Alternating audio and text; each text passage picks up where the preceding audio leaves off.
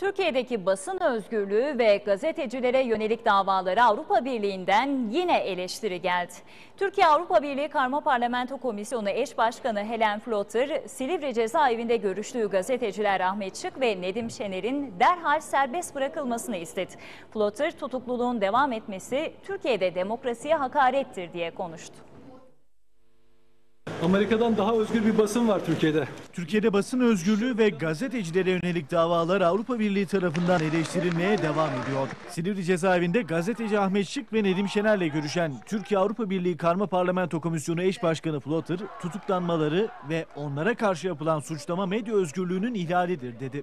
İfade özgürlüğünün garantisinin yeni hükümet için en önemli öncelik olması gerektiğinin altını çizen Flotter, Şık ve Şener'in derhal serbest bırakılması çağrısında bulundu. Şık ve Şener'in tutuklanmaları konusunda adil bir neden olmadığını vurgulayan Flotter, tutukluluğun devam etmesi Türkiye'de demokrasiye hakarettir diye konuştu.